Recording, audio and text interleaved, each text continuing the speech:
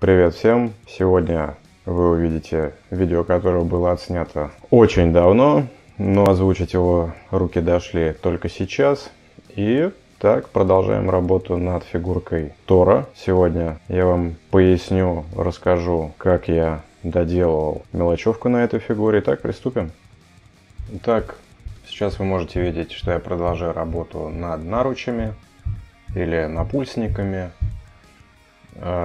Фрагмент этой детали окрашен черным цветом, скажем так, разделяющим, который у нас а, создает контраст а, между деталями самого этого напульсника, так как она, он имеет красную и черную часть, ну или серую. Для этого у нас нанесен черный как база и начинаем Э,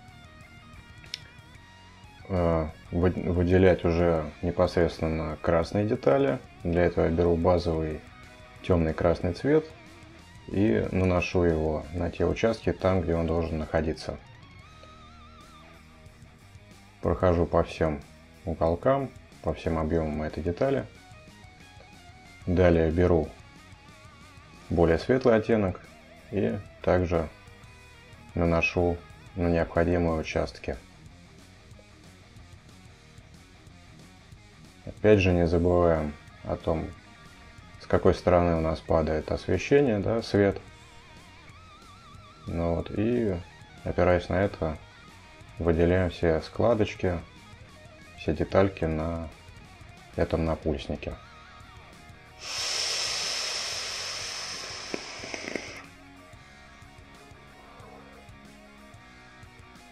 Деталь эта окрашена уже была после приклейки плаща. На предыдущих видео вы можете обратить внимание, что голова и плащ это одна целая деталь. Вот, поэтому пришлось э, приклеивать уже окрашенную голову и плащ и подкрашивать мелкие детали, которые было неудобно подкрашивать э, в разделенном состоянии, скажем так. Для окраски руки я использую Э, Bestial Brown от э, компании Citadel и Bleached Bone, костяной цвет светлый. Я их смешиваю и наношу на поверхность детали. Здесь непосредственно я показываю базовый оттенок или укрывной, используя э, Bestial Brown в чистом виде для подложки. Для того, чтобы у нас черный не просвечивал э, уже в будущем телесном. Чтобы наш телесный не был зеленым. Тщательно покрываем все участки. Далее подмешиваем светлый оттенок. Делаем небольшой, небольшое смешение со светлым цветом и наносим, выделяя уже непосредственно детализацию. После того, как нанесли первый оттенок уже, так сказать, базовый, начинаем его высветлять постепенно, добавляя в него Snakebite. Ой, не Snakebite. Добавляя в него uh, Bleached Bone. Этот костяной цвет. И выделяем на поверхности детали все наши детали костяшки, выпуклости всевозможные на кисти и руки. Ногти обрисовываем и так далее.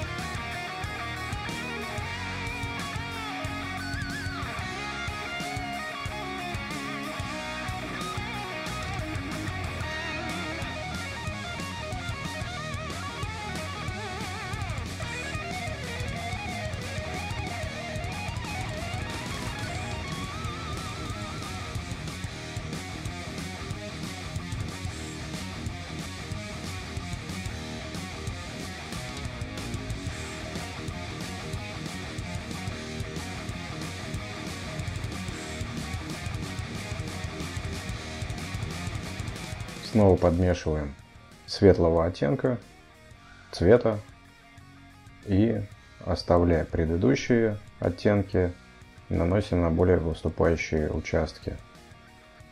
создаем объем, цветотень, кому как больше нравится. Ну, опять же, все это, когда наносится, не забываем о анатомии, где, как оно может быть. То есть, если костяшка у нас более выпуклая, то на более верхнюю точку так и наносим. Но опять же, надо не забывать о том, как деталь будет находиться на, скажем так, в приклеенном состоянии на готовой фигуре. С учетом этого наносим блики, скажем так. Тонировку обычно я провожу до чистого светлого цвета, нанося его непосредственно на те участки, ну, на, скажем, на пиковые точки, где непосредственно самый яркий блик. Итак, я закончил тонировку телесного. После этого я беру красно-коричневый цвет, развожу его до жидкого состояния а, и прохожу скажем так, зазоры между пальцами, углубления вот эти, да, чтобы наши пальцы не сливались.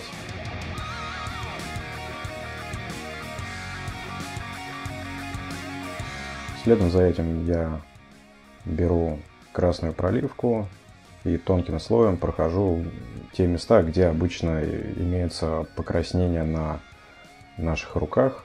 То есть это под ногтевыми пластинами, вокруг костяшек, можно пройтись на ладони, если это а, ладонь раскрытая.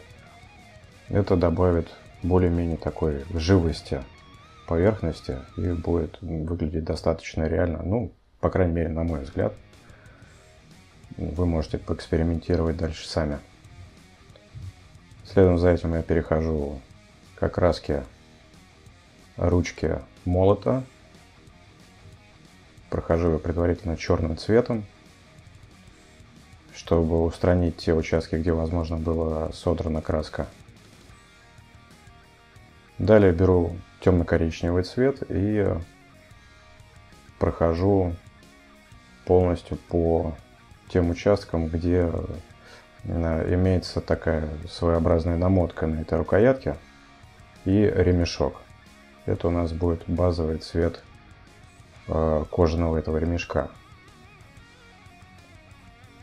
За тем исключением, что ремешок у нас на конце рукоятки имеет петлю. Вот внутри этой петли я оставляю немного черного, чтобы разделить эту петельку на детали, чтобы она у нас не сливалась. После этого я беру более светлый оттенок коричневый, либо подмешиваю в этот э, темно-коричневый цвет э, ну, песочный, либо более коричневый какой-то оттенок и прохожу уже непосредственно саму фактуру этого ремня, то есть как он переплетен, обкручен. Оставляя более темный между каждым э, витком этого ремешка. Ну, таким образом мы выходим на самый светлый цвет – который нам необходимо получить для этого ремня. Опять же, после этого, перед тем, как приклеить, надо посмотреть, как у нас будет это выглядеть, и посмотреть, где сделать аспекты светлого. Далее я это приклеиваю, наношу обычный суперклей. Лишние излишки клея я убираю салфеткой торцом салфетки, так как торец лучше всего впитывает клей. После этого я уже ставлю, расставляю самые яркие точки на коже, которой обкручена рукоятка. Делаю блики от света.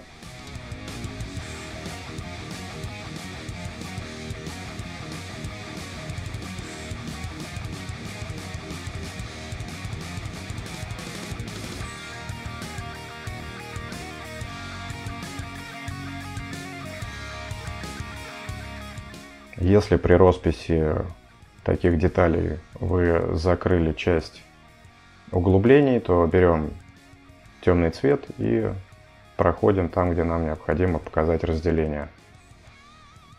Также темным цветом можно рисовать царапины, точки всевозможные, добавлять детализации и реализма этой детали, ну там изделия, да. И вот я завершаю окраску этого ремешка, используя песочный оттенок. Далее добавлю чуть-чуть светлого цвета, ну или белого. Сделаю совсем резкие блики. Так он будет выглядеть наиболее интересно, ярко.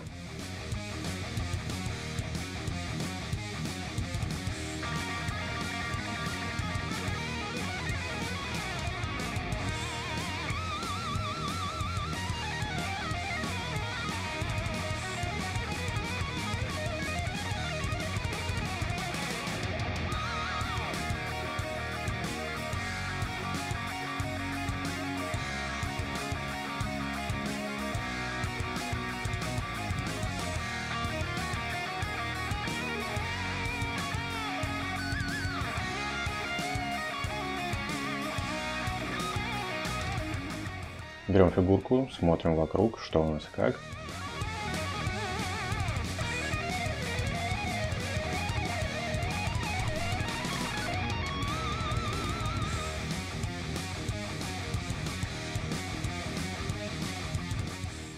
Теперь возьму черный цвет, покрою сам молот и будем работать с молотом.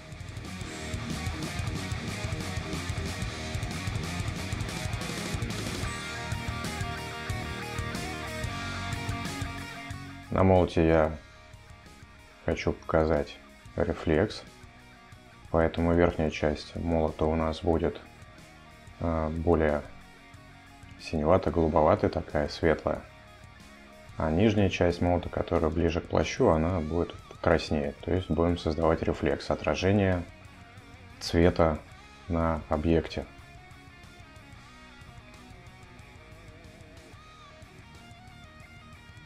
Для этого изначально я выкрашиваю грани, плоскости молота серым цветом, ну, черный плюс серый, то есть, опять же, непосредственное смешение цветов для получения более плавных переходов. Также, если на поверхности детали имеются какие-то там царапины, углубления, там какие-то точки непонятные, там раковинки, скажем так, их можно точно так же протонировать. И это придаст наиболее такой живой вид детали. Та часть, которая у нас больше повернута к плащу, она будет уходить у нас в красный. Для этого я тот серый цвет, который у нас имеется базовый, добавляю немного красного и постепенно вывожу. То есть у нас отражение на молоте будет не прямо красное, а такое с розовым, скажем, отливом в сером цвете. Так как это не зеркало и не полированное изделие, скажем, да?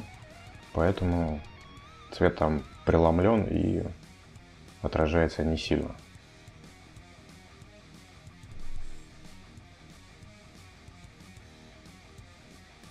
Для осветления я буду туда добавлять белый цвет э, понемножку, постепенно и буду уделять непосредственно уже сами грани и уголки, э, делая самые блики. Вот здесь уже это хорошо очень видно, как осветляется поверхность обращенные к плащу, и вот здесь уже видно хорошо блики.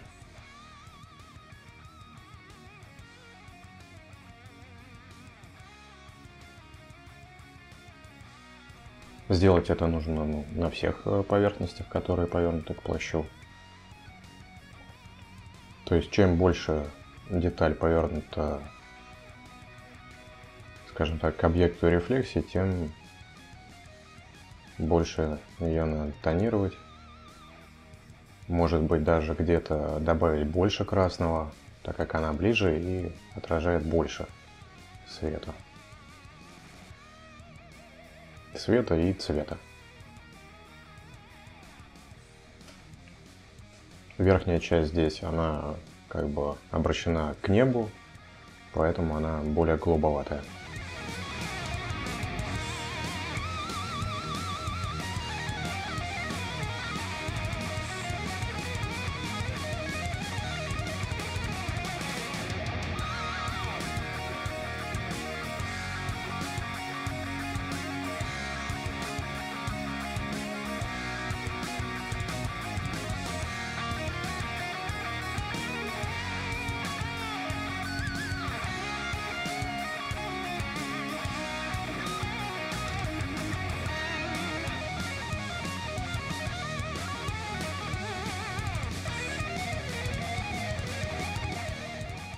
Верхняя часть молота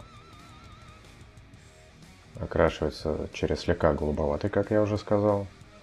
После того, как мы добавили голубого или синеватого цвета, начинаю высветлять это все чисто белым цветом.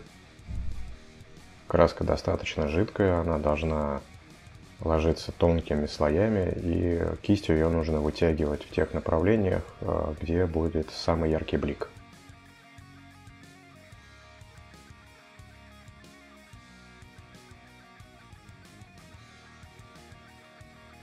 Также повторяем все грани, выделяем какие-то царапины.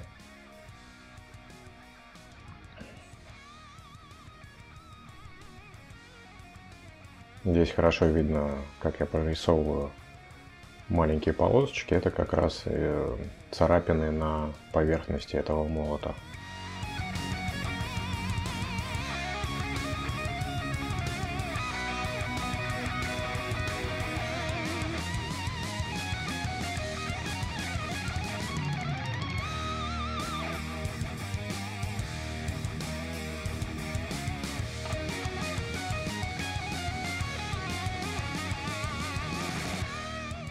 Да, друзья, если вы не видели первые выпуски по работе с этой фигурой, хочу обратить ваше внимание на это. Зайдите на канал, в плейлист, посмотрите. Думаю, вам понравится.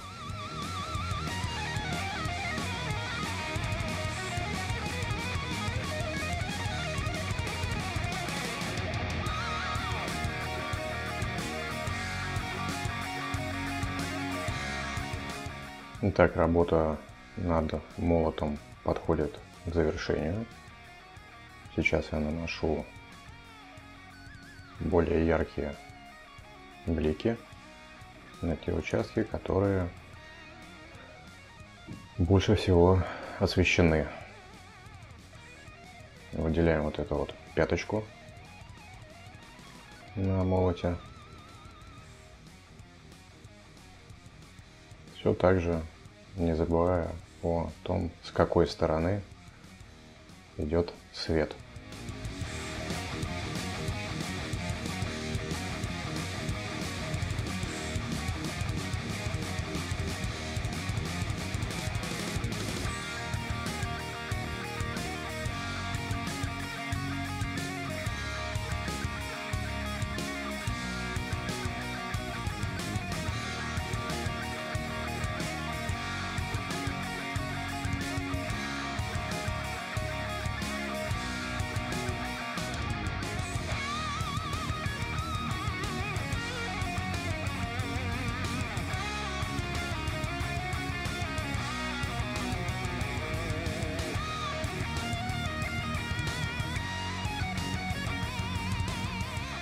Чисто белым ставим блики. Самые яркие точечки. Также подчеркиваем царапины,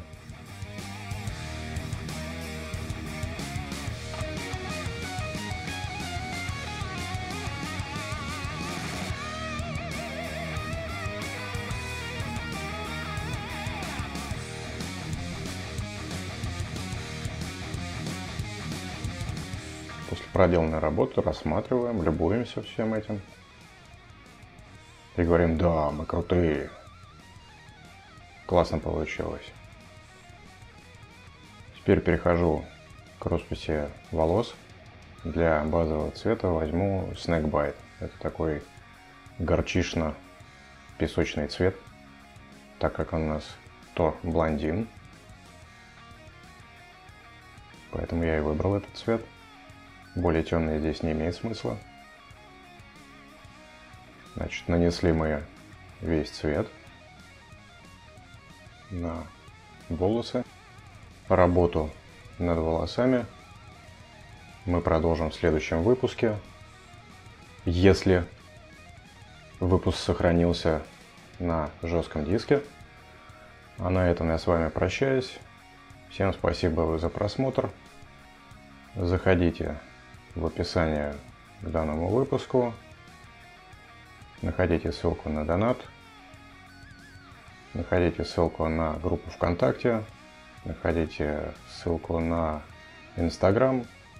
Ставьте лайки, ставьте дизлайки, пишите, пожалуйста, ваши комментарии. Все комментарии просматриваются, по возможности отвечаю на вопросы. Всем удачи!